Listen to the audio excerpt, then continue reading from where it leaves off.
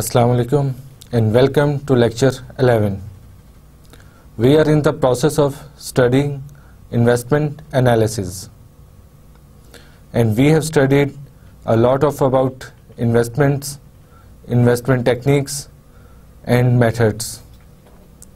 Let's have a look what what we are going to study today.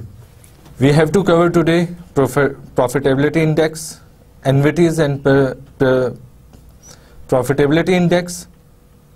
annuities and perpetuity, net terminal value and capital rationing. But instead we recap the things which we have studied in our previous lectures. In our previous lectures we have studied about investment techniques how to evaluate the investments, in which we have studied accounting rate of return, payback period, and uh, these two methods we have uh, seen that these two methods forget about the time value of money and cash flows. Then we have studied discounted cash flow techniques. Under discounted cash flow techniques, you know we have covered two topics. Number one, net present value method and secondly internal rate of return and we have solved uh, of examples कि जिसकी वजह से आपकी एक understanding अच्छी हो जाएगी। Now we are going to see how profitability index is use to evaluate the investments जैसा कि आपके सामने डायग्राम में शो हो रहा है कि एक इन्वेस्टमेंट अप्रेजल के लिए इन्वेस्टमेंट एनालिसिस के लिए क्या क्या टेक्निक्स यूज़ हो सकती हैं जो कि हम पीछे देख के अपने लेक्चर्स में आ चुके हैं। और आज हम इन्वेस्ट प्रॉफिटेबिलिटी इंडेक्स को देख रहे हैं। प्रॉफिटेबिलिटी इंडेक्स का फॉर्मूला आपके सामने स्क्रीन पे शो हुआ है। और उसमें क्या मेंशन है? Net present value divided by initial capital cost यानी कि नेट प्रेजेंट वैल्यू आप सबसे पहले डिटरमिन करेंगे। नेट प्रेजेंट वैल्यू की हमने काफ़ी डिटेल में डिस्कशन की हुई है, जिसकी हम बेसिक कंसिडरेशन देखी थी। और उसके एक जो इंपॉर्टेंट उसमें एलिमेंट्स थे, उनकी हमने डिटेल में स्टडी भी की थी। तो सबसे पहले प्रॉफिटेबिलिटी इंडेक्स में आप नेट प्रेजेंट वैल्यू कैलकुलेट करेंगे और उसको डिवाइड करेंगे इनिशियल कैपिटल कॉस्ट पे। यानी इनिशियल इन्वेस्टमेंट जो इन्वेस्टर कर रहा है, उस पर आप डिवाइड करके प्रॉफिटेबिलिटी इंडेक्स जो आपके पास आंसर आएगा that is a profitability index and it allows comparison of different projects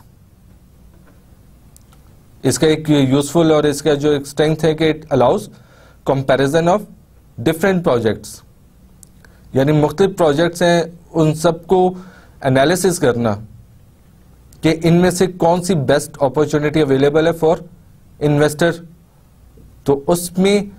profitable index help out करता है कि इन मुख्तलिफ़ प्रोजेक्ट्स में कौन सा ऑप्शन इन्वेस्टर के लिए बेहतर है? It allows a comparison of the cost and benefit of different projects to be assessed and this allow decision making to be carried out जैसे कि हमने पीछे भी इसका फॉर्मूला देखा कि प्रॉफिटेबिलिटी इंडेक्स में हम net present value of future cash flows determine करते हैं और उसके बाद उसके इनिशियल कॉस्ट पे नेट प्रेजेंट वैल्यू को डिवाइड करके प्रॉफिटेबिलिटी इंडेक्स अपना कैलकुलेट कर लेते हैं। तो आगे चलते हैं। प्रॉफिटेबिलिटी इंडेक्स में आपका एक्सेप्शन और रिजेक्शन क्राइटेरिया क्या होना चाहिए? इसमें मेंशन हुआ हुआ है, अगर profitability index is greater than one तो क्या होगा? इट मीन्स के प्रोजेक्ट एक्सेप्टेबल है। और if the profitability index is less than one it means के ज़ीरो या नेगेटिव हो देन द इट मीन्स के प्रोजेक्ट फिजिबल नहीं है और प्रोजेक्ट को में इन्वेस्ट नहीं करना चाहिए। क्योंकि हम पहले नेट प्रेजेंट वैल्यू की डिटेल्ड कैलकुलेशन देख चुके हैं कि how to calculate present value of future cash flows और डिस्काउंट रेट किस तरह यूज़ करना, उसका प्रेजेंट वैल्यू फैक्टर किस तरह निकालना कैश फ्लोज को किस तरह मैंशन करना, किस तरह प्रेजेंट करना, और नेट प्रेजेंट वैल्यू किस तरह कैलकुलेट होती है। तो यहाँ पर हम उसमें टाइम एलोकेट नहीं करेंगे कि किस तरह कैलकुलेट करना है। और इसमें जो फार्मूला मेंशन है, जो आप देख चुके हैं, वो काफ़ी इजी टू अंडरस्टैंड है और काफ़ी आसान है। समझना और उसको इस्तेमाल करना। इसकी हम स्ट्रेंथ ऑफ़ वीकनेसेस देख लेते हैं कि profitability index it is same as NPV क्योंकि एनपीवी की आपने स्ट्रेंथ देखी थी और एनपीवी एक ऐसा मेथड है जो कि वाइडली यूज्ड है इन इंडस्ट्री और बहुत कॉमनली यूज़ होता है और काफ़ी एक ट्रू पिक्चर प्रेजेंट करता है अबाउट इन्वेस्टमेंट एनालिसिस तो इसी तरह प्रॉफिटेबल इंडेक्स में भी जब हम नेट प्रेजेंट वैल्यूज़ यूज़ कर रहे हैं तो ये भी एक टू पिक्चर प्रेजेंट करते थे अबाउट प्रोजेक्ट के, जो प्रोजेक्ट अंडरटेक करने जा रहे हैं, उसके में क्या रिजल्ट्स आ सकते हैं, क्योंकि कैश फ्लोज और time of timing value of cash flows और कैश फ्लोज को वो अच्छे तरीके से, उसके तमाम रेलिवेंट कॉस्ट को इन्फ्लेशन के इफ़ेक्ट को टैक्स के इफ़ेक्ट को, सबको वो लुक आफ्टर करता है और एक जो रिज़ल्ट निकलता है, वो काफ़ी इन्वेस्टर के लिए काफ़ी इजी होता है अपनी इन्वेस्टमेंट को एनालिसिस करने के लिए। And it allows comparison of different scale projects इसकी वीकनेसेस में क्या आता है? सेम केस में कोई फ़र्क एज कंपेयर टू एनपीवी ज़्यादा फ़र्क नहीं है। It provides only relative profitability and it it is potential ranking problems यानी इसमें रैंकिंग प्रॉब्लम्स का पोटेंशियल मौजूद है कि जब आप रैंक करने जाएँगे अपनी ऑप्शंस को तो उसमें आपको जो रैंकिंग करनी है, वो इतनी इजी नहीं होगी। क्योंकि ये वन ज़ीरो या इस तरह के फिगर्स में जब प्रेजेंट कर रहा है तो इन्वेस्टर के लिए उसको जज करना ज़्यादा डिफ़िकल्ट हो जाएगा। अभी annuities what are annuities and perpetuities annuity को आप, हम अपने एक दो लेक्चर पहले डिस्कस कर चुके हैं कि एनविटीज में कैश फ्लो जो होते हैं वो सीरीज़ ऑफ़ इक्वल पेमेंट्स होते हैं। लेकिन परपिचुटी जो कि हम यहाँ पे डिस्कस कर रहे थे तो एनविटीज उसके साथ काफ़ी लिंक है तो इसलिए हम इन दोनों को दोबारा एनविटी को दोबारा देख लेते हैं। Annuity it it is finite series of equal payments that occur at regular intervals It, if the first payment occurs at the end of the project period, it is called an ordinary payment annuity. यानी अगर payments एक project जो आप invest करने जा रहे हैं उसमें अगर जो पेमेंट्स हो रही हैं if they are occurring at the end of the period तो it is called an ordinary equity ordinary annuity और if the first payment occurs at the beginning of the period it is called an annuity due तो इन दोनों में फ़र्क है कि अगर पेमेंट्स हो रही हैं at the end of the period then it will be called ordinary annuity और if the payments are made at the start of the period यानी कि जो जो उसमें फ़र्स्ट पेमेंट अक्कर हो रही है, जो कि अगर वो बिगनिंग ऑफ़ द पीरियड है then it is called annuity due जैसे कि लेजेस आपने देखा होगा कि लेजेस में कुछ सिनेरियोज ऐसे होते हैं जिसमें लीज पेमेंट होती है at the end of each specific period और कुछ लीज ऐसी होती हैं जिसमें जो पेमेंट हो रही होती है that occurs at the start of the period तो उसकी वजह से रिजल्ट्स में, उसके फॉर्मूला में और उसकी कैलकुलेशन में फ़र्क आ जाता है। तो इन दोनों का फ़र्क समझना ज़रूरी है। अब perpetuity it is infinite series of equal payments तो आपने देखा कि जो एनविटी और परपीचुटी है, उसमें बेसिकली क्या फ़र्क है? उसमें जो एनविटी है it is finite series of equal payments perpetuity it is infinite series of equal payments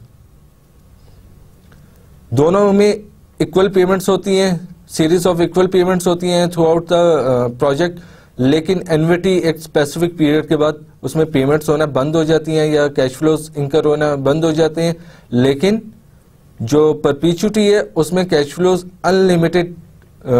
time तक फ्लो हो रहे होते हैं टू द कंपनी या टू द इन्वेस्टर क्योंकि हो, हो सकता है कि इन्वेस्टर एक ऐसा प्रोजेक्ट में इन्वेस्ट करने जा रहा हो जिसमें उसे टाइम फ्रेम डिफाइन करना उसके लिए इम्पॉसिबल हो या बहुत डिफ़िकल्ट हो कि ये प्रोजेक्ट कहाँ पे जाके एंड होगा। तो उसमें वो परपीचुटी का फॉर्मूला यूज़ के यूज़ करके अपने कैश फ्लोज को कैलकुलेशन और उसकी उसको एवेल्युएट कर सकते हैं अपने ऐसे प्रोजेक्ट को। तो perpetuity is infinite series of equal payments उसका परपीचुटी कैसे कैलकुलेट करते हैं इसमें प्रेजेंट वैल्यू जो कैश फ्लोज की होगी क्योंकि अनलिमिटेड पीरियड तक के लिए क्योंकि जो एनविटी था एनविटी में तो हम ये करते हैं कि उसे पीरियड बाय पीरियड आप प्रेजेंट वैल्यू फैक्टर पे मल्टीप्लाई के साथ मल्टीप्लाई करके आ, हर साल की प्रेजेंट वैल्यू इन अलहदा अलहदा भी निकाल सकते हैं या फिर एनविटी टेबल यूज़ करते हुए उसकी स्पेसिफिक पीरियड का प्रेजेंट वैल्यू फैक्टर डिटरमिन करके कैश फ्लोज का एक इकट्ठा प्रेजेंट वैल्यू डिटरमिन कर सकते हैं। लेकिन यहाँ पे तो अनलिमिटेड कैश फ्लोज हो रहे हैं परपीचुटी में। तो इसमें एक इन्वेस्टर को किस तरह कैलकुलेट करना होगा अपना present value of future cash flows जो कि अनलिमिटेड है? तो उसमें उसने ये देखना होगा कि कैश फ्लोज है, उसको वो डिवाइड करेगा अपनी रेट ऑफ़ रिटर्न के साथ। इट इज़ क्वाइट सिंपल कि परपिचुटी में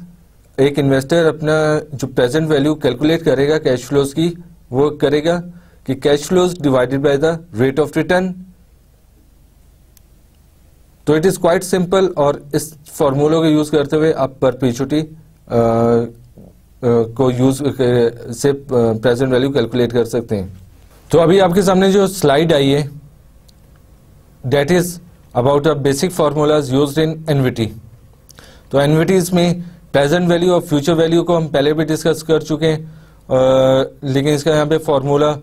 वहाँ पे हमने डिटेल में नहीं देखा था। यहाँ पे हम उसका फॉर्मूला डिटेल में देख लेते हैं कि अगर एनविटी के हो एनविटी की पेमेंट्स हो रही हो और वो ऑर्डिनरी एनविटी हो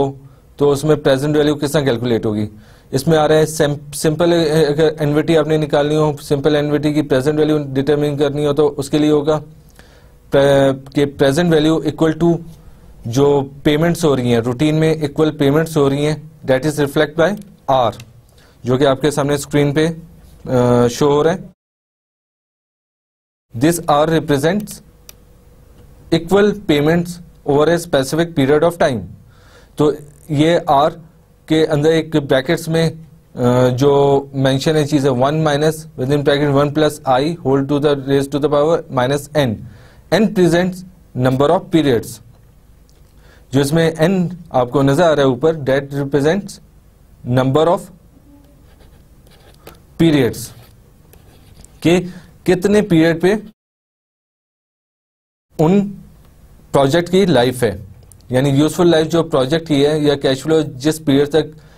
जनरेट हो रहे हैं it represent the number of periods it can be either in years और it can be either in months तो ये मंथ्स में भी हो सकता है और ईयर्स में भी हो सकता है। लेकिन हमने जो जब हम कैश फ्लोज को डिस्कस कर रहे थे तो उसमें भी डिस्कस किया था कि आपका जो एन है that will be in the same form जो कि आपका इंटरेस्ट रेट का होता है। अगर इंटरेस्ट रेट एनुअली है, अगर आपका जो एन है, वो एन सालों को शो कर रहा है ईयर्स को शो कर रहा है तो आपका इंटरेस्ट रेट भी एनुअली होना चाहिए। But if the cash flows are generating in months और इन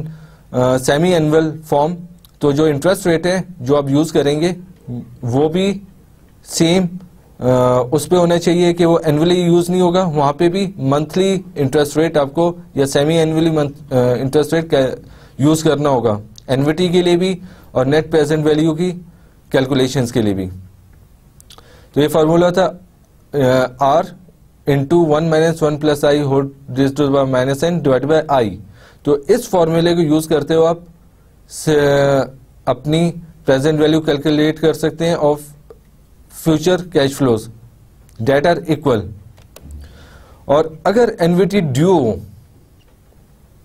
एनवीटी ड्यू जैसे हमने डिस्कस किया था, जिसमें पेमेंट्स हो रही हैं इन एडवांस और सिंपल एनवीटी में क्या था कि पेमेंट्स हो रही हैं after the end of period तो एनवीटी ट्यू में है formula equal to R within bracket one minus one plus I raise to the power minus n divided by I तो इस तरह आप अपनी एनवीटी ड्यू को कैलकुलेट करेंगे। या फिर इसमें यह हो सकता है कि दूसरा फॉर्मूला हो सकता है जिसमें इस पूरे फॉर्मूले के साथ एक और ब्रैकेट लगी हुई है one plus I one plus I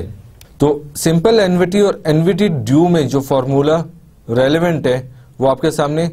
यहाँ पे प्रेजेंट टू है तो अभी हमने सिंपल एनविटी का फॉर्मूला डिस्कस किया।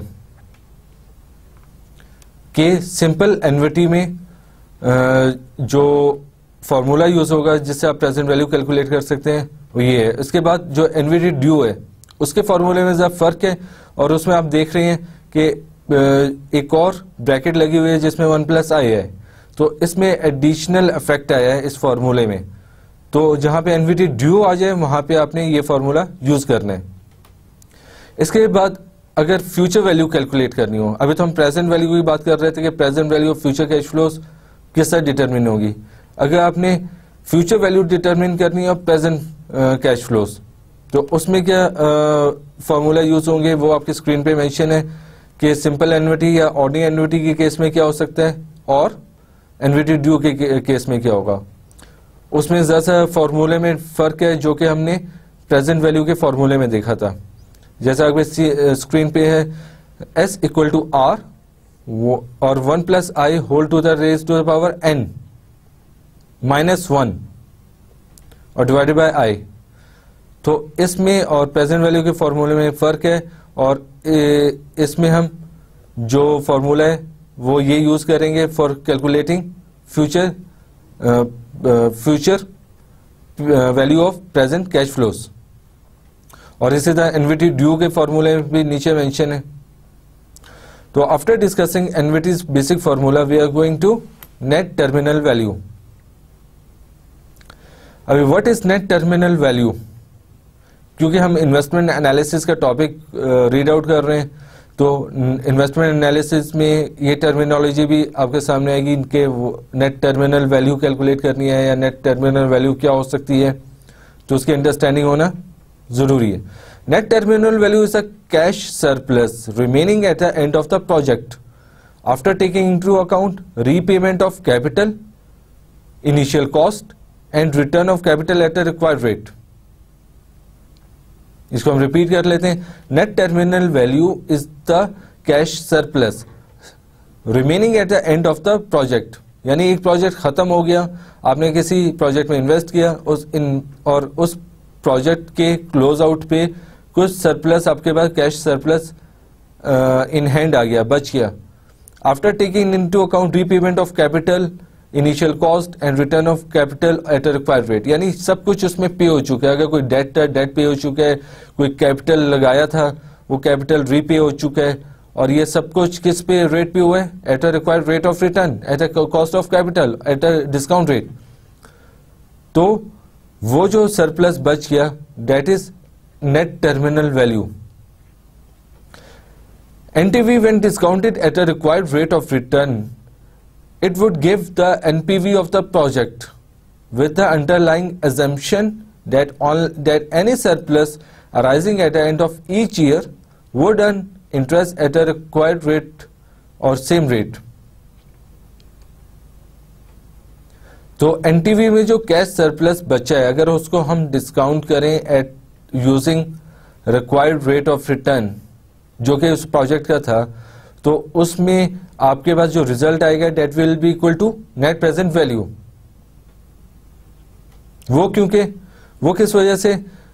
उसमें एक एजेंशन है जो हम यूज़ करते हैं, वो एजेंशन क्या है कि जो भी सरप्लस इस प्रोजेक्ट में बच रहा है at the end of the project वो हम इन्वेस्ट कर देंगे at the rate of return which is use to calculate NPV of the project only because of the foresaid assumption, the relationship between NPV and NTV remains true. ये वो assumption है जिसकी base पे NPV और NTV के जो results हैं वो सेम हो सकते हैं और सही हो सकते हैं। तो यहाँ पे इस टॉपिक को टच करना और इसको देखना ज़रूरी था, क्योंकि नेट टर्मिनल वैल्यू की टर्मिनोलॉजी या इसके बारे में discussion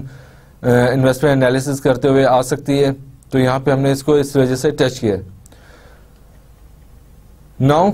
we are going to discussing capital rationing जब इन्वेस्टमेंट एनालिसिस हो रहा होता है तो उसमें जो मेजर चीज़ है, जिसको कंसीडर करना होता है कि what is the amount of investment कि इन्वेस्टमेंट की अमाउंट जितनी होगी उतने ही प्रोजेक्ट में आप इन्वेस्ट कर सकते हैं और उसी के मुताबिक अपने प्रोजेक्ट की एवेल्युएशन कर सकते हैं। तो कैपिटल रेशनिंग में हम चीज़ को डिस्कस करेंगे इन्वेस्टमेंट की अमाउंट लिमिटेड है एक स्पेसिफिक अमाउंट मौजूद है तो उसको आ, उसके मुताबिक अपने प्रोजेक्ट्स को किस तरह हम एवेल्युएट कर सकते हैं। It is a situation in which the company has a limited amount of capital to invest in potential projects such as the different possible investments need to be compared with one another in order to allocate the limited capital available. जब एक investor के पास काफ़ी limited amount of capital मौजूद है तो उसको ये determine करना होगा कि वो किस प्रोजेक्ट में इन्वेस्ट करके अपने वेल्थ को या अपने रिटर्न को मैक्सिमाइज कर सकता है तो इसमें हम देखते हैं कि क्या क्या उसके पास ऑप्शन अवेलेबल हैं, उसको कैलकुलेट करने के क्या तरीके हैं। इसमें दो चीज़ें आती हैं, दो टाइप्स होती हैं कैपिटल रेशनिंग की that is soft capital rationing and hard capital rationing जो सॉफ्ट कैपिटल रेशनिंग होती है it is due to internal factors जो हार्ड कैपिटल रेशनिंग होती है it is due to external factors और इन्वायरमेंटल फैक्टर्स अभी आपके सामने एग्जांपल्स मौजूद हैं कि हार्ड कैपिटल रेशनिंग में क्या रीजंस हैं और सॉफ्ट कैपिटल रैशनिंग में? क्या रीजंस हो सकते हैं और क्या उसके एग्जांपल्स हैं? Reasons for hard capital rationing hard capital rationing is due to environmental और external factors industry wide factors limiting funds कि कोई ऐसी इंडस्ट्री है जिसमें एक इन्वेस्टर या कंपनी इन्वेस्ट करने जा रही है, लेकिन उसमें लिमिट्स गवर्नमेंट की तरफ़ से या due to any reason mention है कि इस अमाउंट तक आप इन्वेस्ट कर सकते हैं इससे ज़्यादा नहीं कर सकते। Company specific factor such as lack of और poor track record lack of asset security poor management team तो ये वो रीजन हैं जिसकी वजह से हार्ड कैपिटल रेशनिंग फेस करनी पड़ सकती है एक इन्वेस्टर को। और reason for soft capital rationing क्या हो सकते हैं? लिमिटेड मैनेजमेंट स्किल्स अवेलेबल ये इंटरनल होती है। Desire to maximise return of a limited range of investments limited exposure to external finance encourages acceptance of only only substantiality profitable business ये वो internal factors हैं जो कि मैनेजमेंट के अपने इंटरनल जो उनकी रीजंस है, उसकी वजह से जनरेट होती है। ये लिमिटेशन तो यहाँ पे हमने हार्ड कैपिटल रेशनिंग और सॉफ्ट कैपिटल रेशनिंग को डिस्कस किया। हार्ड कैपिटल रेशनिंग जो हो रही थी that was due to environmental factors और जो सॉफ्ट कैपिटल रेशनिंग हमने देखी that is due to internal factors अभी हम कैपिटल रेशनिंग में आ, ये देखते हैं कि इसमें लिमिट जो है if the limit occurs The capital rationing occurs when a limit is set on the amount of funds available to a firm for investment. Firm must rank investment based on their NPVs. क्योंकि जब एक limited funds available हैं for investment in projects तो आपको उस limited funds को पे maximum return लेने के लिए कंपनी को अवेलुएट करना होगा कि किन प्रोजेक्ट से एक इन्वेस्टर अपने रिटर्न को मैक्सिमाइज कर सकते हैं, उसके लिए उसको रैंकिंग करनी होगी, जो कि ऑप्शंस अवेलेबल है। और वो रैंकिंग किस बेसिस पे करेगा? उसके लिए तरीके हम आगे भी देखेंगे, लेकिन यहाँ पे मेंशन है कि नेट प्रेजेंट वैल्यू के थ्रू वो रैंकिंग करके अपनी ऑप्शंस को एवेल्युएट कर लेगा। Those with positive NPVs greater than the cost of capital are accepted until the funds are exhausted तो उसमें हम रैंकिंग कर लेंगे अपने प्रोजेक्ट्स की कि कौन से प्रोजेक्ट्स ज़्यादा फिजिबल हैं फॉर इन्वेस्टर uh, और कौन से प्रोजेक्ट कम फिजिबल है फॉर इन्वेस्टर जब हम ये रैंकिंग कर लेंगे तो हम जो ज़्यादा प्रॉफिटेबल बिज़नेस होगा उसमें इन्वेस्ट करते जाएँगे until the funds are exhausted फिर इसके बाद कैपिटल रेशनिंग में हम ये आता है कि कुछ जब आप मुख्तलिफ़ ऑप्शंस को और मुख्तलिफ़ प्रोजेक्ट्स को एवेलुएट कर रहे हैं for investment point of view तो उसमें कुछ ऐसे प्रोजेक्ट्स भी आपको फेस करने पड़ सकते हैं जिस, जो डिपेंडेंट हो ऑन ईच अदर यानी कि अगर आप एक प्रोजेक्ट एक्सेप्ट करेंगे तो दूसरा प्रोजेक्ट कर सक, एक प्रोजेक्ट की एक्सेप्टेबिलिटी डिपेंडेंट होती है on the acceptability of second project यानी आपके पास जो ऑप्शन अवेलेबल हैं that are dependent on each other उसमें इंडिपेंडेंट कोई प्रोजेक्ट आप अंडरटेक नहीं कर सकते। A project whose acceptance depends on the acceptance of one or more other projects is called dependable projects. इसमें दूसरी क्या चीज़ हो सकती है इसमें एक और चीज़ है म्यूचुअली एक्सक्लूसिव म्यूचुअली एक्सक्लूसिव क्या होता है प्रोजेक्ट हुज एक्सेप्टेंस preclude या exclude the acceptance of one or more alternative projects यानी ये डिपेंडेंट नहीं है इस केस में और इसमें सिनेरियो में ये होगा कि अगर आप किसी ऐसे प्रोजेक्ट में इन्वेस्ट करने जा रहे हैं जो कि डिपेंडेंट नहीं है और अगर वो प्रोजेक्ट आप एक्सेप्ट कर लेते हैं तो दूसरा प्रोजेक्ट आपको एक्सेप्ट नहीं करना होगा। दैट इज़ का म्यूचुअली एक्सक्लूसिव प्रोजेक्ट अभी यहाँ पे कंपैरिजन हो रहा है mutually exclusive project versus independent projects का। म्यूचुअली एक्सक्लूसिव प्रोजेक्ट्स में क्या होगा? Only one of the several potential projects can be chosen for example acquiring and accounting system यानी यहाँ पे आपके पास ऑप्शंस नहीं है म्यूचुअली एक्सक्लूसिव प्रोजेक्ट में। आपके पास जो इन्वेस्टमेंट है वो सिर्फ़ आप एक प्रोजेक्ट में कर सकते हैं और किसी और प्रोजेक्ट में नहीं कर सकते। फॉर एग्ज़ाम्पल इसमें क्या मैंशन है? एन अकाउंटिंग सॉफ्टवेयर लाजिम आता है कि जब कंपनी अपने अकाउंटिंग सॉफ्टवेयर परचेज करेगी, वो एक ही सॉफ्टवेयर परचेज करेगी।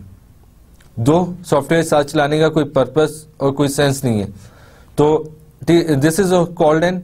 mutually exclusive project और इसमें रैंकिंग क्या होगी? Rank all alternatives and select the best one जब इसमें भी हम ऑप्शंस को तो देखेंगे कि म्यूचुअली एक्सक्लूसिव अगर प्रोजेक्ट्स अवेलेबल हैं और उसमें हम ऑप्शंस को किस तरह सिलेक्ट करेंगे कि हम तमाम प्रोजेक्ट्स को देखेंगे, उनकी रैंकिंग करेंगे और उसमें से जो बेस्ट है that will be chosen independent projects में क्या होता है? एक्सेप्टिंग और rejecting one project does not affect the decision of other projects यानी कि एक इन्वेस्टर के पास हज़ार रुपए हैं और उसने उसके पास तीन ऑप्शन अवेलेबल हैं project A project B project C एक में इन्वेस्टमेंट कर सकते हैं सिक्स हंड्रेड की एक में कर सकते हैं टू हंड्रेड की और तीसरे में भी टू हंड्रेड की इन्वेस्टमेंट कर सकते हैं। तो इसमें अगर वो प्रोजेक्ट ए एक्सेप्ट कर सक करेगा तो इसकी आ, तो ये डिपेंडेंट नहीं होगा दूसरे प्रोजेक्ट पे। और प्रोजेक्ट ए को इंडिपेंडेंट एवेल्युएट कर सकता है और प्रोजेक्ट बी और सी को इंडिपेंडेंट एवेल्युएट कर सकता है। और अंडरटेक भी कर सकता है। और इसमें क्या एक चीज़ है it must exceed a minimum acceptance criteria कि प्रोजेक्ट अगर एक्सीड कर रहे हैं मिनिमम क्राइटेरिया को मिनिमम क्राइटेरिया क्या हो सकता है? रिक्वायर के इट मस्ट द जो net present value must be positive जो उसमें सबसे ज़्यादा पॉजिटिव फिगर होगी, सबसे हाईएस्ट पॉजिटिव फिगर होगी, उसको एक्सेप्ट किया जाएगा। फिर सेकंड हाईएस्ट पॉजिटिव फिगर को एक्सेप्ट किया जाएगा और फिर थर्ड नंबर पे थर्ड हाईएस्ट प्रोजेक्ट फ़ी जो एनपीवी होगी, उसको एक्सेप्ट किया जाएगा। जो इस तरह इसकी रैंकिंग होगी, उस तरह एक्सेप्ट कर लेंगे। लेकिन म्यूचुअली एक्सक्लूसिव प्रोजेक्ट में क्या था कि only one project will be chosen and that would be best one और डिपेंडेंट प्रोजेक्ट हमने देखा कि डिपेंडेंट प्रोजेक्ट है कि जब आप इन्वेस्टमेंट करने जा रहे हैं तो वो प्रोजेक्ट डिपेंडेंट है किसी और प्रोजेक्ट पे। तो इसकी वजह से आपको दो प्रोजेक्ट या तीन प्रोजेक्ट जो कि आपस में डिपेंडेंसी है, जिनकी वो सारे एक्सेप्ट करने होंगे। और म्यूचुअली एक्सक्लूसिव में we will accept the only one project that we और वो सबसे बेस्ट ऑप्शन होगी। और इंडिपेंडेंट प्रोजेक्ट में मुख्तलिफ़ प्रोजेक्ट्स में इन्वेस्ट कर सकते हैं और उसकी रैंकिंग के मुताबिक आप एक्सेप्ट कर सकते हैं मुख्तलिफ़ प्रोजेक्ट्स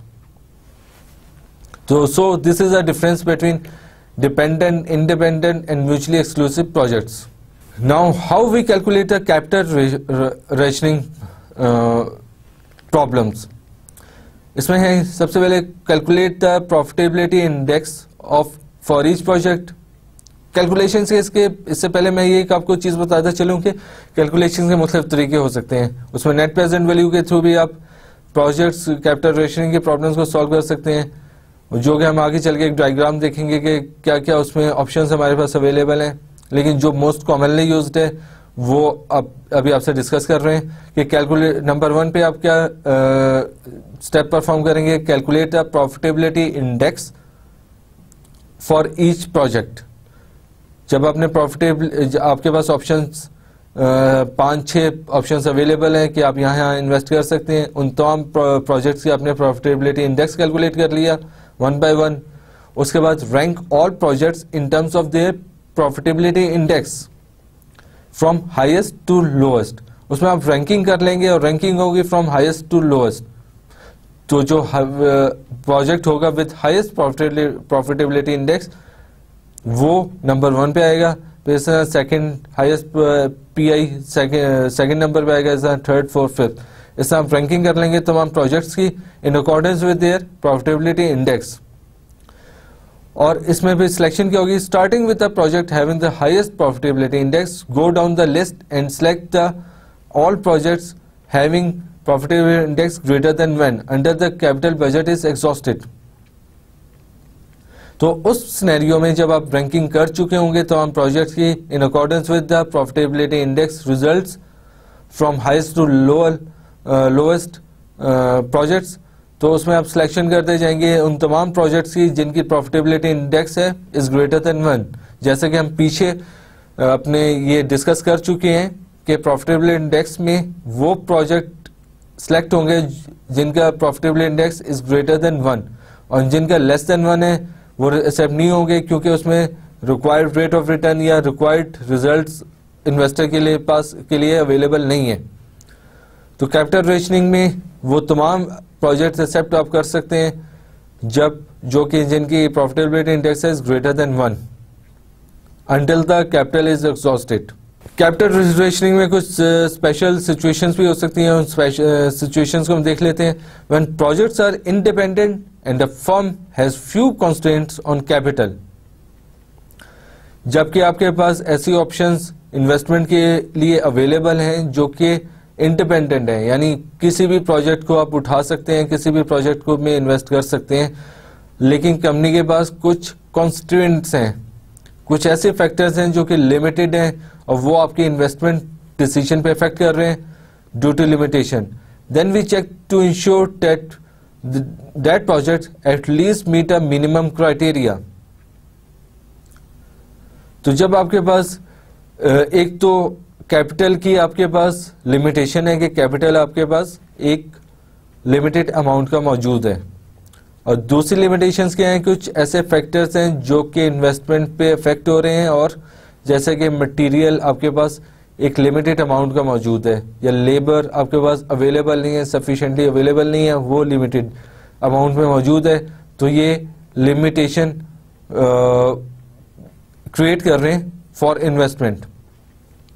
तो इसमें इस ऐसे सिचुएशन में वो प्रोजेक्ट एक्सेप्ट करेंगे जो कि मिनिमम एक्सेप्टेबल क्राइटेरिया को मीट कर रहे हैं। अब मिनिमम एक्सेप्टेबल क्राइटेरिया हर इन्वेस्टर का डिफरेंट हो सकता है। कुछ इन्वेस्टर के लिए ये हो सकता है कि उसके रिक्वायर्ड रेट ऑफ़ रिटर्न से अगर उसे ज़्यादा रिटर्न मिल रहा है वो एस, उन प्रोजेक्ट को से एक्सेप्ट कर सकता है। कुछ इन्वेस्टर्स के ये हो सकता है कि जिसकी profitability index is greater than one सिर्फ़ वो उनको एक्सेप्ट करेगा। तो इस तरह मिनिमम क्राइटेरिया को जो प्रोजेक्ट मीट कर रहा है तो वो प्रोजेक्ट ऐसे सिचुएशन में आप एक्सेप्ट कर लेंगे। If they do they are accepted यानी जो मिनिमम क्राइटेरिया को एक्सेप्ट मीट कर लेगा प्रोजेक्ट वो प्रोजेक्ट सिलेक्ट हो जाएगा। इसमें क्या है? मिनिमम क्राइटेरिया क्या क्या हो सकते हैं? कि एनपीवी इज़ ग्रेटर देन और इक्वल टू ज़ीरो जैसा कि हम एनपीवी में डिस्कस कर चुके थे कि अगर ज़ीरो से कम है एनपीवी किसी भी प्रोजेक्ट की तो वो प्रोजेक्ट सिलेक्ट नहीं होना चाहिए, क्योंकि वो लॉस है उसमें लॉस होगा इन्वेस्टर को। और आईआरआर अगर है किसी का क्राइटेरिया तो आईआरआर इज़ ग्रेटर देन और इक्वल टू डिस्काउंट रेट यानी जो रिक्वायर्ड रेट ऑफ़ रिटर्न है इन्वेस्टर का, उससे ज़्यादा होना चाहिए जो प्रोजेक्ट का आईआरआर है। या फिर profitability index is greater than equal to one sometimes a firm will have plenty of funds to invest capital rationing में दूसरा स्पेशल सिचुएशन क्या हो सकती है? कि कुछ ऐसे इन्वेस्टर्स हो सकते हैं जिनके पास इन्वेस्टमेंट की लिमिटेशन ना हो अनलिमिटेड उनके पास फंड्स मौजूद हो but it must choose between projects that are mutually exclusive लेकिन उनकी लिमिटेशन क्या है कि they have to accept only one project from the options available उनके पास फंड्स की लिमिटेशन नहीं है इन्वेस्टमेंट की लिमिटेशन नहीं है लेकिन उनके पास क्या प्रॉब्लम है कि उन्होंने एक प्रोजेक्ट एक्सेप्ट कर सकते हैं this means that acceptance of one project precludes the acceptance of any others. In this case, we seek to choose the one highest ranked of the acceptable projects. तो ऐसी situation में investor क्या करेगा ऐसी situation में investor उस project को accept करेगा डेट गिव्स और डेट सिक्योर हाईएस्ट रिटर्न के जिस प्रोजेक्ट से सबसे ज़्यादा हाईएस्ट रिटर्न मिल सकते हैं, उस प्रोजेक्ट को एक्सेप्ट कर लिया जाएगा। If the firm has capital rationing then it fund are limited and not all independent project may be accepted in this case we seek to choose two project that best use the firm's available fund profitability index is especially useful here. तो हमने क्या चीज़ discuss की? कि तीसरा special scenario ये हो सकता है कि एक कंपनी के पास, एक इन्वेस्टर के पास लिमिटेड फंड्स हैं, यानी कैपिटल रेशनिंग है उसकी। और उसने फंड्स को यूज़ करने then it funds are limited funds उसके लिमिटेड हैं and not all independent projects may be accepted लेकिन वो तमाम और लिमिटेड फंड्स होने की वजह से वो इंडिपेंडेंट प्रोजेक्ट्स सारे एक्सेप्ट नहीं कर सकता। तो इसमें वो क्या करेगा? रैंकिंग करेगा प्रॉफिटेबिलिटी इंडेक्स निकालेगा रैंकिंग करेगा और हाईएस्ट रैंक जो प्रोजेक्ट्स हैं, उनको एक्सेप्ट कर लेगा। इसमें दो चीज़ें इंपॉर्टेंट थी। कि एक तो कैपिटल रेशनिंग है, यानी इन्वेस्टमेंट लिमिटेड अमाउंट में मौजूद है। एंड सेकेंडली क्या हो रहा है? कि इंडिपेंडेंट प्रोजेक्ट्स ऑप्शन जो अवेलेबल है that is of independent projects तो ये हमने तीन स्पेशल स्नैरियोज पे डिस्कस किए जो कि कैपिटल रेशनिंग में आ सकते हैं कि टॉपिक के अंदर आ सकते हैं और उसको किस तरह टैकल किया जाएगा वो हमने देखा। यहाँ पे रिकॉल कर लेते हैं कैपिटल रेशनिंग की। If the firm has capital rationing then it funds are limited and non and not all independent project may be accepted in this case, we seek to choose those projects that best use the firm's available funds. And profitability index is especially useful here.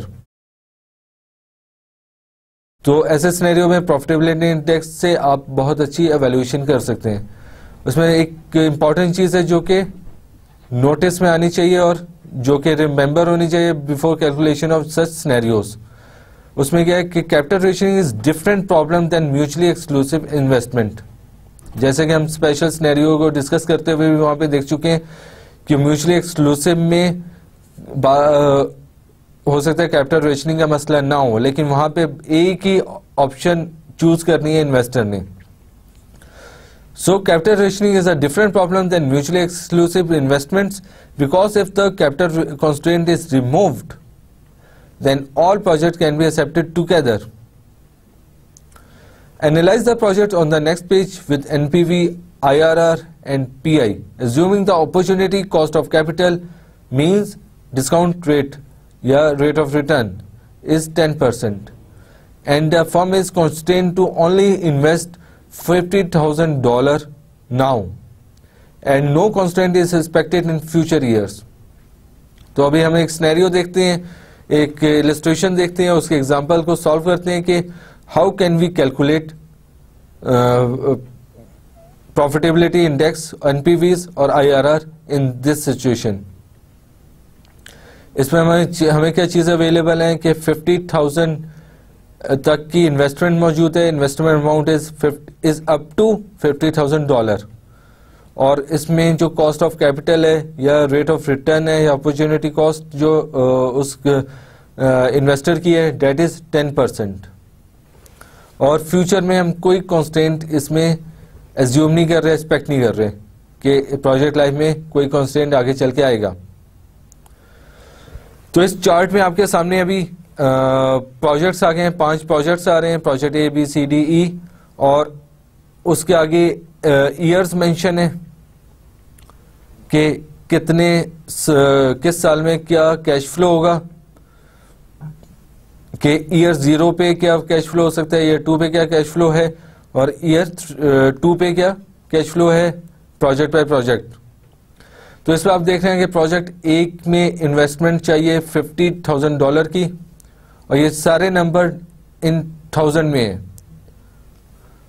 तो project A में initial investment चाहिए fifty thousand dollar लेकिन project B में investment जो चाहिए that is twenty thousand dollar project C में भी twenty thousand dollar और डी में भी twenty thousand dollar E project में आपको चाहिए टेन थाउज़ेंड डॉलर तो हर प्रोजेक्ट में जो इनिशियल इन्वेस्टमेंट रिक्वायरमेंट है डेट इज़ डिफरेंट तो हर प्रोजेक्ट एक डिफरेंट ऑप्शन है फॉर इन्वेस्टर इसमें हमने एनालाइज करना है कि कौन से प्रोजेक्ट एक्सेप्ट कर सकते हैं, और कोई प्रोजेक्ट एक्सेप्ट करने हैं तो उसमें कितनी अमाउंट उसको इन्वेस्ट करनी है। अभी उसके आगे कैश इनफ्लोज और आउटफ्लोज जो बाकी दो ईयर्स में वो मेंशन है। आप रो बाय रो उसको देख रहे होंगे कि प्रोजेक्ट ए में जो कैश फ्लोज आ रहे हैं, कि ईयर टू में कोई कैश इनफ्लो या आउटफ्लो नहीं है। ईयर वन में आके सिक्सटी थाउज़ेंड डॉलर की इनफ्लो है, उसके बाद कोई इनफ्लो नहीं है आगे किसी और ईयर में। इसी तरह प्रोजेक्ट बी में भी ईयर टू में कोई कैश इनफ्लो नहीं है, और जो प्रोजेक्ट डी और ई है, वो भी ईयर वन पे क्लोज हो रहे हैं, यानी ख़त्म हो रहे हैं, और ईयर टू में उनका कोई कैश फ्लो नहीं है। और प्रोजेक्ट सी है जिसका ईयर वन में भी, भी आउटफ्लो हो रहा है कैश आउटफ्लो हो रहा है और ईयर टू में उसका इनफ्लो है that is thirty seven eight hundred sixty two thousand thirty six thousand eight hundred sixty two dollar तो उसके बाद प्रोजेक्ट पर प्रोजेक्ट हमने एन पी एनपीवी यहाँ पे मेंशन कर दी है आईआरआर मेंशन कर दी है और प्रॉफिटेबिलिटी इंडेक्स भी मेंशन कर दी है। तो आप देख सकते हैं कि हर प्रोजेक्ट का जो नेट प्रेजेंट वैल्यू में अगर हम सिर्फ़ देखेंगे नेट प्रेजेंट वैल्यू किस प्रोजेक्ट की ज़्यादा है वो आप इस चार्ट से देख सकते हैं कि किस प्रोजेक्ट की एनपीवी ज़्यादा है। और अगर सिर्फ़ एनपीवी को देखें तो उसमें रैंकिंग आप कर सकते हैं कि कौन सा प्रोजेक्ट फिजिबल है for company for investor to investment इसी तरह आईआरआर भी मेंशन है हर प्रोजेक्ट के। कि आईआरआर क्या हो सकते हैं? प्रॉफिटेबिलिटी इंडेक्स भी मेंशन है हर प्रोजेक्ट का।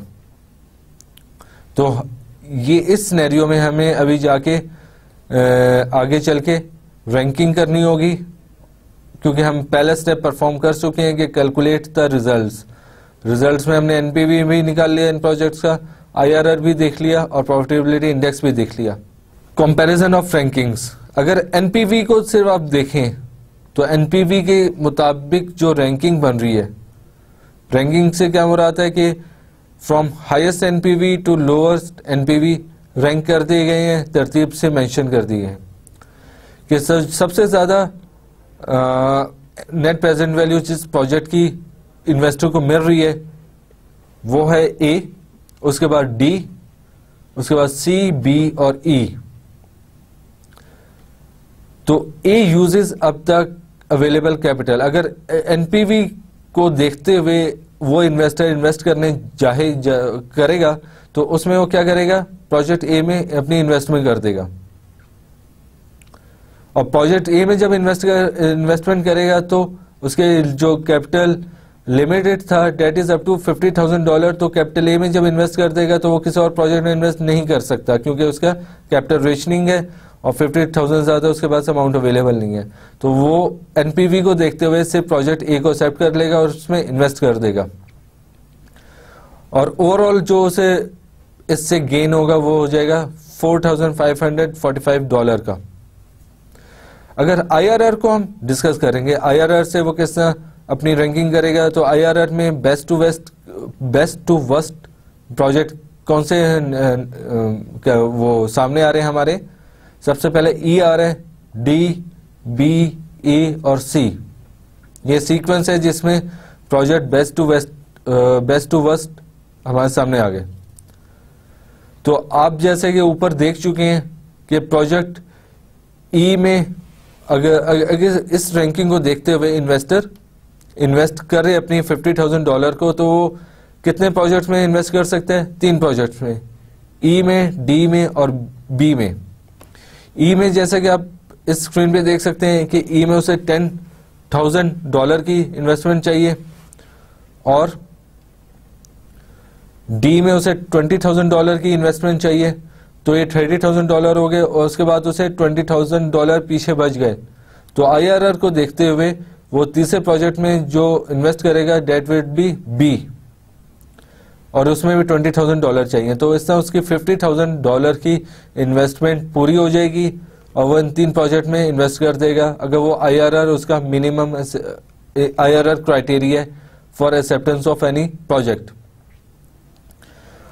और इन तीनों प्रोजेक्ट्स में जो उसका आईआरआर है that is greater than his minimum rate of return जो कि मेंशन हमने क्वेश्चन में देखा था डेट इज़ टेन परसेंट तो आईआरआर प्रोजेक्ट ई में ट्वेंटी सिक्स परसेंट है प्रोजेक्ट ई में ट्वेंटी फाइव परसेंट है और प्रोजेक्ट बी में twenty twenty one project B में ट्वेंटी वन परसेंट है। तो इसका क्राइटेरिया भी मीट हो गया और हाईएस्ट जो उसे रिटर्न्स अवेलेबल थे, उसके मुताबिक उसने इन्वेस्टमेंट इन प्रोजेक्ट्स में कर दी। तो इस तरह उसकी फिफ्टी थाउज़ेंड की लिमिट पूरी हो गई और वो आईआरआर को देखते हुए इन तीन प्रोजेक्ट को एक्सेप्ट करेगा। और एनपीवी को देखते हुए उसने एक्सेप्ट किया था प्रोजेक्ट ए क्योंकि प्रोजेक्ट ए में सबसे ज़्यादा हाईएस्ट एनपीवी निकल रही थी। और प्रोजेक्ट ए की जो, क्योंकि अमाउंट जो उसकी जो इनिशियल इन्वेस्टमेंट की अमाउंट थी that was equal to his available budget तो सारी इन्वेस्टमेंट उसने प्रोजेक्ट ए में की और प्रोजेक्ट ए को सिर्फ़ एक्सेप्ट किया फॉर इन्वेस्टमेंट पर्पजेज और आईआरआर में उसने तीन प्रोजेक्ट को सेट किया। अभी हम प्रॉफिटेबल इंडेक्स को देख लेते हैं प्रॉफिटेबल इंडेक्स के मुताबिक अगर रैंकिंग करें तो कौन से प्रोजेक्ट्स इन्वेस्टर के लिए फिजेबल है और वो कहाँ का इन्वेस्ट कर सकते हैं। आइए उसकी रैंकिंग आपके सामने खुद भी आप कर सकते हैं कि इस पर स्क्रीन पे नज़र आ रहा है कि सबसे जो हाईएस्ट उसे मिल रहा है that is in project E और उसके बाद कौन सा प्रोजेक्ट उसके लिए सबसे ज़्यादा हाईएस्ट रिटर्न दे रहे हैं? That is project D. और उसके बाद जो उसे सबसे रिटर्न मिल रहा है that is in project C और फिर प्रोजेक्ट बी और फिर ए यानी ये रिवर्स सिचुएशन में चल रहा है कि प्रोजेक्ट ई e सबसे ज़्यादा फिजिबल है then D then C then B then A तो इसमें हमने देख लिया कि अभी प्रॉफिटेबिलिटी इंडेक्स को अगर वो अपना मिनिमम क्राइटेरिया डिफाइन करे और उसके मुताबिक वो इन्वेस्टमेंट करना चाहे तो कैपिटल रेशनिंग के सिचुएशन में वो कितने प्रोजेक्ट को एक्सेप्ट करेगा? अपनी कैपिटल को देखते हुए कि फिफ्टी थाउज़ेंड का उसका कैपिटल था तो फिफ्टी थाउज़ेंड का फुली यूटिलाइज हो जाते हैं?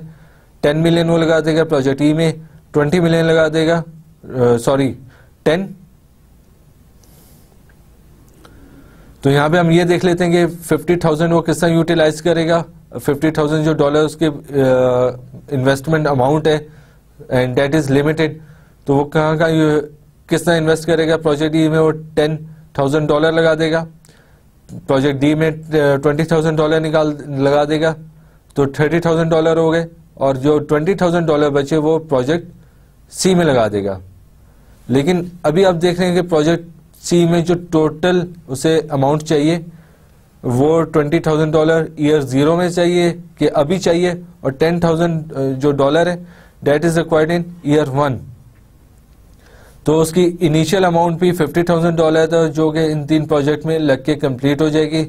और इन तीन प्रोजेक्ट में वो प्रॉफिटेबिलिटी इंडेक्स को देखते हुए इन्वेस्ट कर देगा। तो अगर हम सब तीनों क्राइटेरियाज को और जो तीनों रिजल्ट्स निकले हैं through using NPVs through using IRR and profitability index उनके एक दफ़ा ओवरऑल एनपीवी को अगर कैलकुलेट करें तो वो उसमें सबसे बेहतर रिज़ल्ट किससे मिल रहे हैं वो देख लेते हैं। अगर एनपीवी की रैंकिंग करके इन्वेस्टर एक्सेप्ट कर लेता है तो ओवरऑल एनपीवी जितना वो अर्न करेगा through investment of fifty thousand dollar वो है four thousand five hundred and forty five अगर वो आईआरआर को यूज़ करता है अपनी इन्वेस्टमेंट के लिए तो उसका उसका जो टोटल एनपीवी वो अन कर रहा है by investing his fifty thousand dollar in project D D और बी में तो टोटल एनपी वो वो अर्न कर रहे हैं six thousand one hundred eighty six thousand one hundred and eighty one और इस तरह वो जो प्रॉफिटेबली इंडेक्स को देखते हुए अगर वो इन्वेस्टमेंट करे तो उस उसे कितनी टोटल एनपीवी अर्न कर सकते हैं? That is six thousand three hundred and eighty one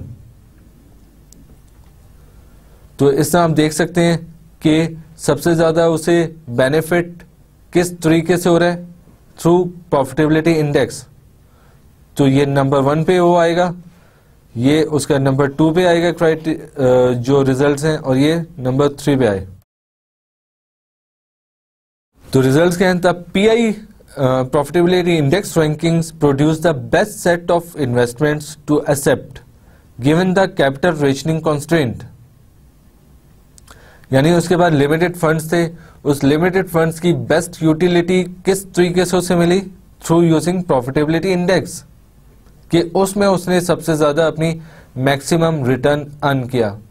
तो यहाँ पे हम कैपिटल रेशनिंग की कंक्लूजन्स देख लेते हैं कि कैपिटल रेशनिंग में क्या आ, हमने लर्न किया है और उसमें क्या चीज़ें थी कि profitability index profitability index is best for initial ranking of independent projects under capital rationing.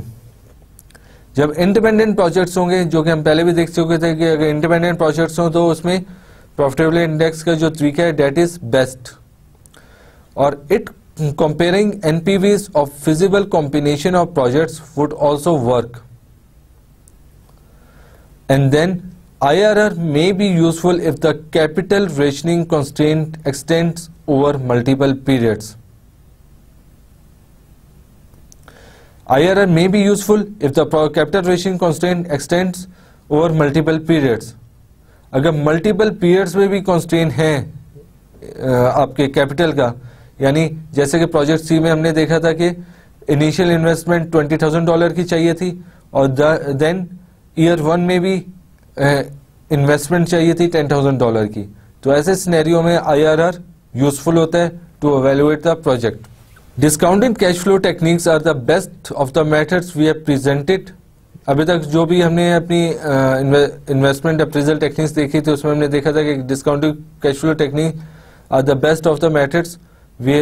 जो एवेल्युएट करने के लिए बेस्ट था In some cases, the DCF techniques need to be modified in order to obtain a correct decision. It is important to completely understand these cases and have an appreciation of which technique is best given the situation. जैसा कि हम देख चुके हैं कि profitability index के through हमने अपने रिजल्ट्स को इन्वेस्टर के पॉइंट ऑफ़ व्यू से बेस्ट हमें रिजल्ट्स मिले तो डीसीएफ टेक्निक वैसे भी ओवरऑल बहुत यूजफुल है फॉर एवेल्यूशन और प्रोजेक्ट्स लेकिन अगर किसी सिनेरियो में कैपिटल रेशनिंग आ जाए या किसी कुछ और आ जाए तो उसमें हम मॉडिफाई भी कर सकते हैं अपनी DCF discounted cash flow technique को। अभी यहाँ पे आपके सामने एक चार्ट आ गया है। उस चार्ट में जितने भी स्नैरियोज हो सकते हैं और कैपिटल रेशनिंग से रिलेटेड और उसमें क्या टेक्निक्स यूज़ करनी चाहिए, यानी बेस्ट अवेलेबल जो टेक्निक्स हैं, उसमें से कौन सी यूज़ करनी चाहिए, वो भी मेंशन है और उसके स्नैरियोज में मेंशन है। इसमें आप देख रहे हैं कैप्टर रेशनिंग में एक सिंगल पीरियड कैप्टर रेशनिंग है और मल्टी पीरियड कैप्टर रेशनिंग है। जैसे कि आपके स्क्रीन पे अपीयर है, जैसे कि आपके स्क्रीन पे अपीयर है कि कैप्टर रेशनिंग में सबसे पहले जो क्लासिफिकेशन आती हैं या जो स्नैरियोज अराइज होते हैं डेट इज़ के either capital rationing is single period capital rationing और multi period capital rationing single period capital rationing से मुराद ये है कि एक पीरियड में सिर्फ़ कैपिटल कॉन्स्टेंट है और बाकी पीरियड्स में कैपिटल कॉन्स्टेंट नहीं है। और multi period capital multi period capital rationing में ये है कि उसमें मुख्तलिफ़ पीरियड्स में आपको लिमिटेशंस फेस होंगी कैपिटल की। तो सिंगल पीरियड कैपिटल रेशनिंग में क्या आता है? सबसे पहले एक ऑप्शन जो मिलती है जिसका सिनेरियो आपको फेस करना हो सकता है, उसमें है कि डिविजिबल प्रोजेक्ट्स के ऑप्शंस अवेलेबल हैं और नॉन म्यूचुअल जो प्रोजेक्ट्स अवेलेबल हैं that are non mutually exclusive independent यानी इंडिपेंडेंट प्रोजेक्ट्स हैं वो। यानी आप किसी भी प्रोजेक्ट्स में इन्वेस्ट कर सकते हैं। तो सिंगल पीरियड में सबसे पहले जो ऑप्शन आ रही है कि किस तरह का सिनेरियो फेस करना हो सकता है, उसमें है कि एक तो डिविजिबल डिविजिबल प्रोजेक्ट्स हैं और नॉन म्यूचुअली एक्सक्लूसिव प्रोजेक्ट्स हैं। यानी इसमें ये रिस्ट्रिक्शन नहीं है कि आपने सिर्फ़ एक ही प्रोजेक्ट में इन्वेस्ट करना है और आप मुख्तलिफ़ प्रोजेक्ट में इन्वेस्ट कर सकते हैं। तो इसमें रेट किस तरह रेटिंग क्या, किस तरह होगी? द प्रोजेक्ट यूजिंग रेट किस तरह करेंगे हम? यूजिंग प्रॉफिटेबिलिटी इंडेक्स और या फिर इसको हम रेट किस तरह करेंगे? थ्रू यूजिंग प्रॉफिटेबिलिटी इंडेक्स और प्रॉफिटेबिलिटी इंडेक्स में हम क्या चीज़ें देखेंगे? Net present value divided by the capital investment और इसमें जो दूसरा नाम हो सकता है पोस्ट प्रॉफिटेबिलिटी इंडेक्स तो अभी आपके सामने एक स्क्रीन पे एक पूरा चार्ट अवेलेबल है, जिसमें कैपिटल रेशनिंग से रिलेटेड जितने भी स्नैरियोज हैं, जो भी सिचुएशन फेस हो सकती हैं। वो सामने आपके स्क्रीन के प्रेजेंट हो गई हैं। अभी कैपिटल रेशनिंग में सबसे पहले आपके सामने आ रहा है सिंगल पीरियड कैपिटल रेशनिंग तो सिंगल पीरियड कैपिटल रेशनिंग क्या हो सकता है कि एक ही पीरियड में आपके पास कैपिटल कॉन्स्टेंट है, बाकी पीरियड्स में कैपिटल कॉन्स्टेंट नहीं है, उसमें आपके पास फंड्स अवेलेबल हैं अनलिमिटेड फंड्स अवेलेबल हैं फॉर इन्वेस्टमेंट और मल्टी पीरियड कैपिटल रेशनिंग में ये है कि मुख्तलिफ़ पीरियड्स में कॉन्स्टेंट्स हैं और कैपिटल यानी कैपिटल आपके पास अवेलेबल नहीं है या कोई और कॉन्स्टेंट अवेलेबल है, और वो मुख्तलिफ़ पीरियड्स में ये आपको फेस करना होगा कॉन्स्टेंट्स तो सिंगल पीरियड कैपिटल रेशनिंग में अगर हम आए तो उसमें सबसे पहले जो एक सिनेरियो राइज हो सकता है कि जो ऑप्शंस जिन प्रोजेक्ट्स में आपके पास ऑप्शंस अवेलेबल हैं that are divisible projects and non mutually exclusive projects यानी वो ऐसे प्रोजेक्ट्स हैं कि अगर उसमें फिफ्टी थाउज़ेंड डॉलर की इन्वेस्टमेंट चाहिए तो आप उसमें थर्टी थाउज़ेंड डॉलर इन्वेस्ट करके भी काम शुरू कर सकते हैं, या ट्वेंटी थाउज़ेंड डॉलर में भी काम इन्वेस्ट करके काम शुरू कर सकते हैं। So that are divisible projects तो डिविजिबल प्रोजेक्ट्स की सिनेरियो आ सकते हैं, और वो ऐसे प्रोजेक्ट्स हो सकते हैं जो कि नॉन म्यूचुअली एक्सक्लूसिव हों। यानी इंडिपेंडेंट हो। ये लाजमी नहीं है कि एक एक ही प्रोजेक्ट में आपको इन्वेस्ट करना है। आप आ, उसके साथ साथ एक प्रोजेक्ट के साथ दूसरे प्रोजेक्ट में भी इन्वेस्ट कर सकते हैं। तो इसमें जो रेटिंग का तरीका है यानी रेटिंग आप किस तरह करेंगे? रेटिंग आप करेंगे थ्रू यूजिंग प्रॉफिटेबिलिटी इंडेक्स और पोस्ट पोस्ट प्रॉफिटेबिलिटी इंडेक्स तो जो प्रॉफिटेबिलिटी इंडेक्स है, वो आपको पता है कि उसका फॉर्मूला है net present value divide by capital investment और जो पोस्ट प्रॉफिटेबिलिटी इंडेक्स है, उसका फॉर्मूला हो सकते, उसका जो फॉर्मूला है, उसका जो फॉर्मूला है, वो है loss on postponement divide by capital investment और NPV minus NPV one year discount divide by capital investment तो ये एक सिनेरियो था जहाँ पे आपके पास डिविजिबल प्रोजेक्ट्स हो और नॉन म्यूचुअली एक्सक्लूसिव प्रोजेक्ट्स हो। तो सिंगल पीरियड कैपिटल रेशनिंग में आप उसको सॉल्व कर सकते हैं थ्रू प्रॉफिटेबिलिटी इंडेक्स जो मोस्ट कॉमनली ऑप्शन अवेलेबल है for evaluating investment that is profitability index अब इसमें जो दूसरा स्नैरियो हो सकता है डेट इज़ इंडिविजुअल प्रोजेक्ट्स आपके पास ऑप्शंस अवेलेबल हो इन्वेस्टमेंट के लिए, और ऐसे प्रोजेक्ट हैं डेट आर म्यूचुअली एक्सक्लूसिव, यानी एट ए टाइम आपको सिर्फ़ एक ही इन्वेस्टमेंट में, एक ही प्रोजेक्ट में इन्वेस्ट कर सकते हैं। और वो डिवाइड भी नहीं हो सकते प्रोजेक्ट यानी अगर किसी में फिफ्टी थाउज़ेंड डॉलर की इन्वेस्टमेंट चाहिए तो उसमें फिफ्टी थाउज़ेंड डॉलर ही की इन्वेस्टमेंट करनी होगी, ना कम, ना ज़्यादा कर सकते हैं। जैसे कि पीछे हमने डिविजिबल प्रोजेक्ट में देखा था कि डिविजिबल प्रोजेक्ट में आप डिवाइड करके इन्वेस्टमेंट कर सकते हैं। फिफ्टी थाउज़ेंड डॉलर की चाहिए तो आप थर्टी थाउज़ेंड डॉलर भी लगा सकते हैं और टेन थाउज़ेंड डॉलर भी लगा सकते हैं। तो इंडिविजुअल प्रोजेक्ट्स में आप डिवाइड नहीं कर सकते। जो इन्वेस्टमेंट चाहिए वो लगानी होगी और वो म्यूचुअली एक्सक्लूसिव भी है, यानी एट ए टाइम एक प्रोजेक्ट को आपने एक्सेप्ट करना है। तो इसके लिए किस तरह आप रेटिंग करेंगे? रेटिंग आप करने के लिए आप यूज़ करेंगे एब्सलूट एनपीवीज यानी नेट प्रेजेंट वैल्यू तमाम प्रोजेक्ट से निकालेंगे उसमें जो, जो सबसे हाईएस्ट नेट एनपीवी दे रहे प्रोजेक्ट वो आप यूज़ कर ले वो तरीका वो आप प्रोजेक्ट एक्सेप्ट कर लेंगे। लेकिन जहाँ म्यूचुअली एक्सक्लूसिव प्रोजेक्ट की बात आ जाए वहाँ पे ये भी हो सकता है कि आपके जो प्रोजेक्ट है that requires initial investment of for example forty thousand dollar लेकिन आपके पास जो इन्वेस्टमेंट की अमाउंट मौजूद है that is up to fifty thousand dollar तो आप फोर्टी थाउज़ेंड डॉलर तो इन्वेस्ट कर देंगे उस प्रोजेक्ट में, और जो टेन थाउज़ेंड डॉलर बचेगा, उसको भी वैल्यूएट करना होगा कि इसको हम कहाँ यूज़ कर सकते हैं। तो इन दोनों को देखते हुए प्रोजेक्ट एक्सेप्ट होगा। तो जो सरप्लस कैश कैश बच गया है surplus cash can be invested उसके लिए भी ऑप्शन हैं कि वो कहाँ कहाँ इन्वेस्ट हो सकते हैं। इन्वेस्टमेंट अपॉर्चुनिटीज़ एट डिस्काउंटेड यानी जो भी इन्वेस्टमेंट अपॉर्चुनिटी अवेलेबल है, उसको, उसका आप एनपीवी निकालेंगे यूजिंग डिस्काउंटेड और no further steps as the NPV और सरप्लस कैश इज़ ज़ीरो क्योंकि जब आप रिक्वायर्ड रेट ऑफ़ रिटर्न पे इन्वेस्ट कर देंगे तो एनपीवी ऑटोमेटिकली ज़ीरो हो जाएगा। या फिर ये है कि investment opportunities at different rates या ऐसी अपॉर्चुनिटीज़ आपके पास अवेलेबल होंगी जिसका डिस्काउंट रेट डिफरेंट है as compare to the required discount rate या रिक्वायर्ड रेट ऑफ़ रिटर्न तो इसमें आप अगर वो हायर रेट्स पे अवेलेबल है ऐसी अपॉर्चुनिटीज़ अगर हायर रेट्स मिल रहे हैं ऐसी ऑप्शंस में तो वहाँ पे आप इन्वेस्ट कर देंगे और पॉजिटिव एनपीवी वहाँ से आपको मिल जाएगा और सरप्लस कैश अच्छे का अच्छा यूटिलिटी हो जाएगी। लेकिन अगर इन्वेस्टमेंट अपॉर्चुनिटीज़ ऐसी अवेलेबल हैं जहाँ पर लोअर रेट्स अवेलेबल हैं लोअर रेट ऑफ़ रिटर्न है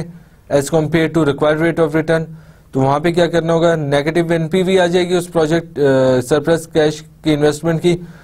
नेगेटिव एनपीवी और surplus cash will detected to from the absolute NPV यहाँ यानी कि जो कि आपने इन्वेस्टमेंट uh, जो कि आपने एनपीवी यहाँ पे कैलकुलेट की थी। इसमें ये वाली एनपीवी आप ऐड करेंगे।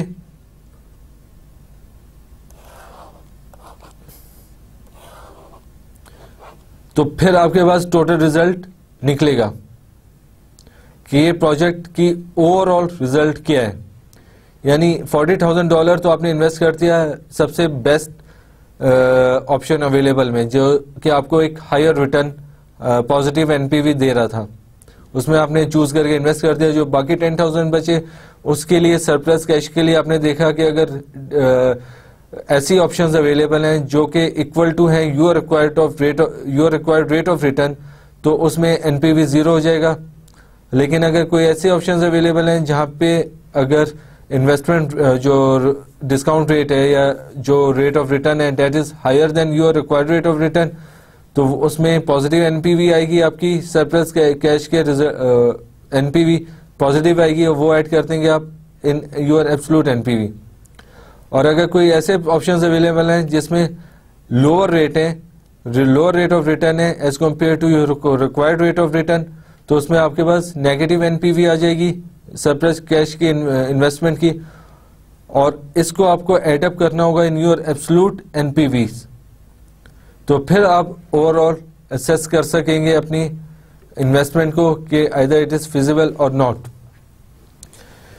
तो ये दो सिनेरियोज थे जिसमें आप सिंगल पीरियड कैपिटल रेशनिंग को डिवाइड कर सकते हैं और इसमें आप आ, अपने सिंगल पीरियड कैपिटल रेशनिंग के सिनेरियोज को इस तरीके से सॉल्व कर सकते हैं। जो दूसरा तरीका आपके सामने अपियर हो रहा है that is multi period capital rationing तो मल्टी पीरियड कैपिटल रेशनिंग में के जो सोल्यूशन है, उसमें जो आपको तरीका यूज़ करना होगा डेट इज़ डिफरेंट और वो आप नेट प्रेजेंट वैल्यू के थ्रू या फिर आईआरआर के थ्रू या प्रॉफिटेबिलिटी इंडेक्स के थ्रू नहीं कर सकते। क्योंकि उसमें मुख्तलिफ़ पीरियड्स में कॉन्स्टेंट्स आ रहे हैं।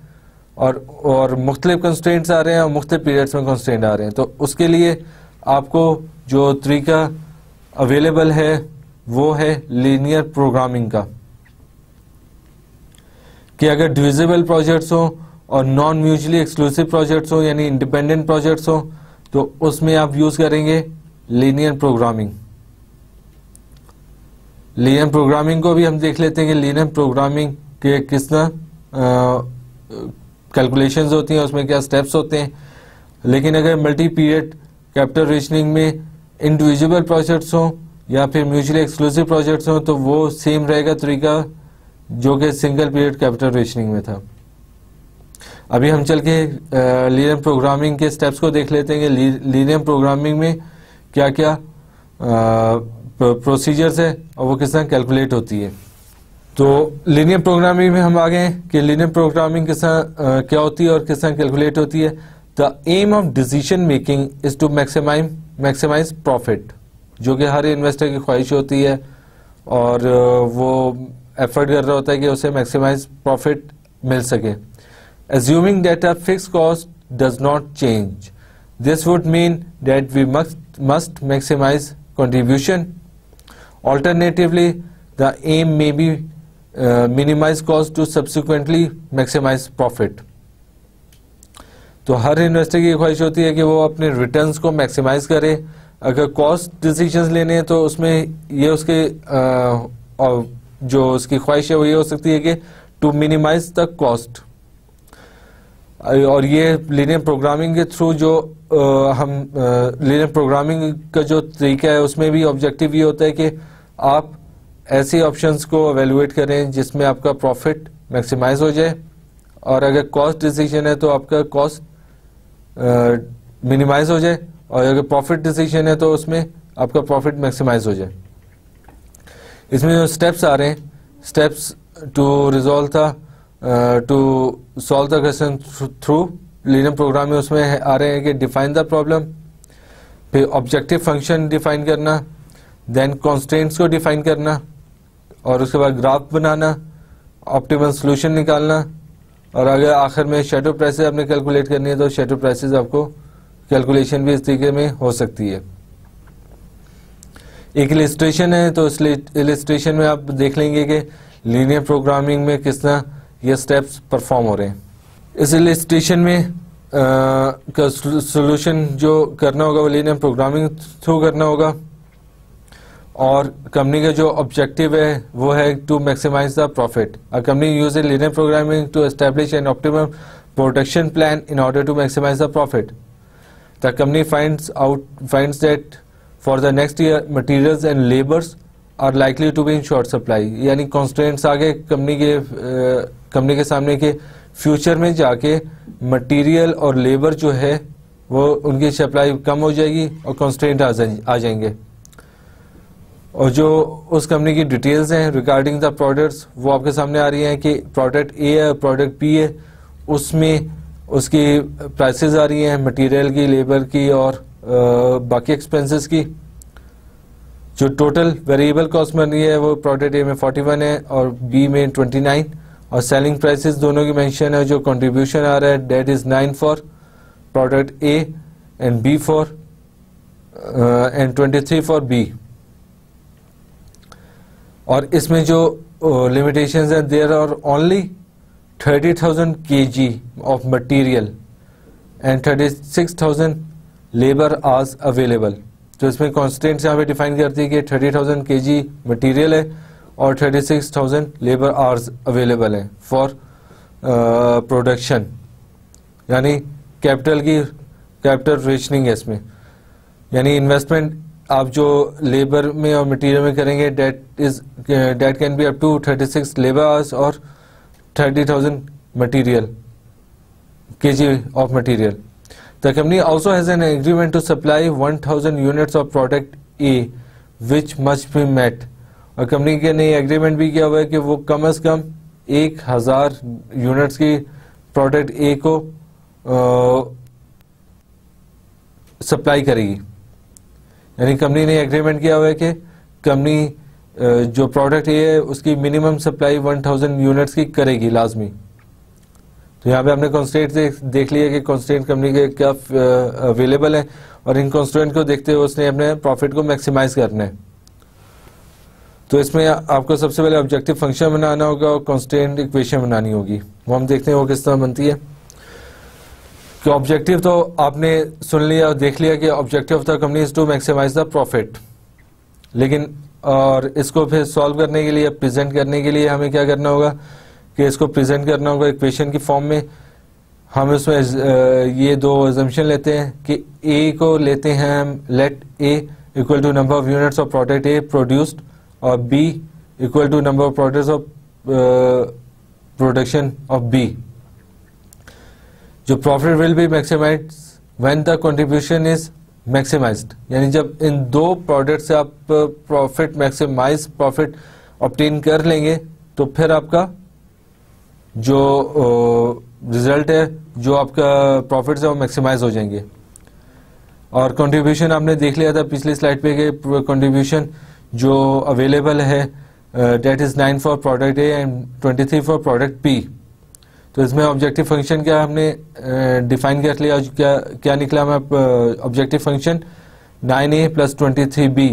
ये ऑब्जेक्टिव फ़ंक्शन है और इसको हमने मैक्सिमाइज करना है। नाइन ए क्या प्रेजेंट कर रहा है? कि नाइन जो कंट्रीब्यूशन नंबर ऑफ़ यूनिट्स जो हम ए प्रोडक्ट के बनाएँगे, उसमें नाइन कंट्रीब्यूशन आ रहे हैं और ट्वेंटी थ्री आ रहे हैं फॉर प्रोडक्ट बी तो ये जितने यूनिट्स बनेंगे, इसको हमने, इससे हम मैक्सिमाइज प्रॉफिट अर्न कर सकते हैं। और जो कॉन्स्टेंट्स थे, वो क्या है कि जो नंबर ऑफ़ यूनिट्स ए जो हमने प्रोड्यूस कर हैं that must be greater than और इक्वल टू वन थाउज़ेंड ये हमारा एक कॉन्स्टेंट था। और मटेरियल कॉन्स्टेंट क्या है कि तीन प्रोडक्ट यू तीन के जी मटीरियल यूज़ होने for product A or 4 kg for product B and that must be less than और equal to thirty equal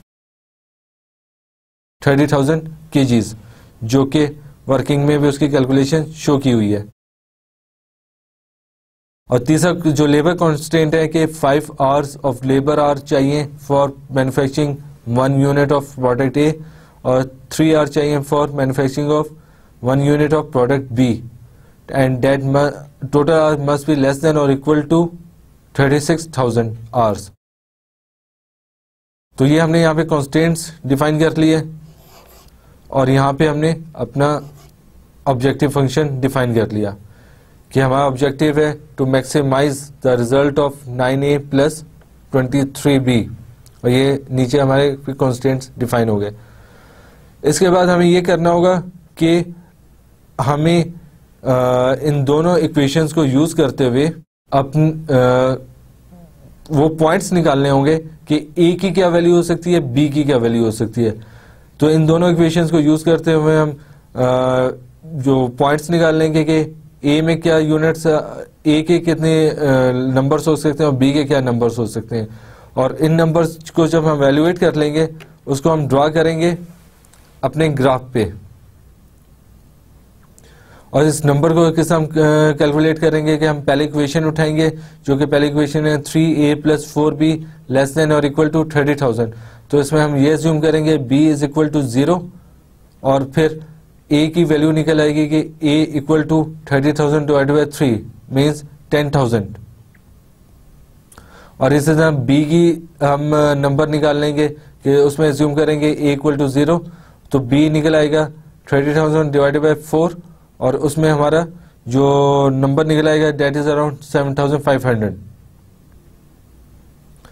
तो इसी तरह हम दूसरे इक्वेशन को यूज़ करते हुए भी ए और बी के पॉइंट्स निकाल लेंगे और उसे ग्राफ में मेंशन करेंगे और उन ग्राफ्स की जो लाइंस हैं, वो इन इक्वेशंस को प्रेजेंट करेगी। जैसे कि आपके सामने अपियर हो रहा है कि फाइव ए और three B five A plus three B equal to thirty six thousand की लाइन ये बनी है। उसमें ट्वेल्व थाउज़ेंड बी के यूनिट्स निकले थे, जो वाई एक्सिस पे शो है, और seven thousand three hundred something यहाँ पे, ए के यूनिट्स निकले थे जो एक्स एक्सिस पे शो है। इसी तरह हमने दूसरी इक्वेशन को यूज़ करते हुए ए और बी के पॉइंट्स निकाल के अपने ग्राफ में मेंशन कर लिए। और जो लास्ट हमारा कॉन्स्टेंट था, तीसरा कॉन्स्टेंट कि ए के कम अज कम एक हज़ार यूनिट्स सप्लाई करने होंगे। तो दिस इज़ कॉन्स्टेंट जो कि हमने यहाँ पे शो कर दिया। तो अभी जो सबसे फिजिबल एरिया यहाँ पे प्रेजेंट हो रहे हैं that would be must the corner area जो कि इस ग्राफ में ये वाला एरिया है जिसको हम आइसो कंट्रीब्यूशन लाइन बोल रहे हैं। The optimal protection plan occurs at the optimal point shown on the graph that is where A equal to one thousand and crosses three A plus four B equal to thirty thousand तो this is इस area के हमने ये points determine करने हैं। उनमें कौन कौन से पॉइंट हैं? एक ये वाला पॉइंट है, जहाँ पे क्रॉस हो रहा है with three A plus four B equal to thirty thirty thousand की लाइन से। और एक ये वाला पॉइंट है और तीसरा ये वाला पॉइंट है, जो कि इन पॉइंट्स पे हम नंबर्स कैलकुलेट करेंगे थ्रू यूजिंग इक्वेशन और वो जो नंबर हमें बताएगा, उसके जो रिजल्ट्स निकलेंगे that would be the most profitable situation for the company और एक, हमें पता है कि if A equal to one thousand तो उसको यूज़ करते हुए हमें बी की वैल्यू निकल आती है जो कि है six thousand seven hundred fifty क्योंकि बी का जो प्रोडक्ट है that is giving maximum contribution यानी जो जो कंट्रीब्यूशन है that is twenty three and that is larger than the product A contribution तो हमें जब अपने प्रॉफिट मैक्सिमाइज करना होगा तो हमें ये कोशिश करनी होगी कि प्रोडक्ट पी के मैक्सिमम यूनिट्स प्रोड्यूस हों और प्रोडक्ट ए के अगर कम से कम भी यूनिट प्रोड्यूस हों that should be equal to one thousand तो इसमें जो रिज़ल्ट निकल रहा है डेट इज़ कि one thousand units we have produce of product A और six thousand seven hundred fifty units B के प्रोड्यूस होने चाहिए तो यहाँ पे हमारा प्रॉफिट मैक्सिमाइज हो जाएगा। Four two hundred and fifty dollar तो this is all about the capital rationing जिसको हमने डिस्कस किया, और उसमें हमने मुख्तलिफ़ तरीकों को देखा कि सिंगल पीरियड कैपिटल रेशनिंग के क्वेश्चन आ जाए, उसमें आपके पास डिविजिबल प्रोजेक्ट्स हों या